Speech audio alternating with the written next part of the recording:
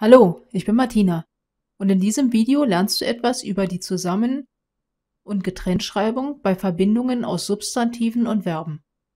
Damit du alles verstehst, solltest du wissen, was Substantive, Verben und Adjektive sind. Ich wünsche dir dabei viel Spaß.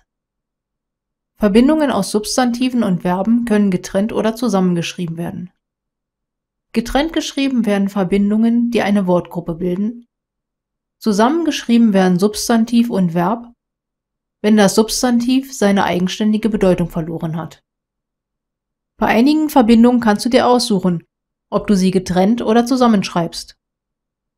Verbindungen aus einem Substantiv und einem Verb Den kompletten Film und viele weitere findest du auf www.sofatutor.com. Sofatutor.com. Gute Bildung zu Hause.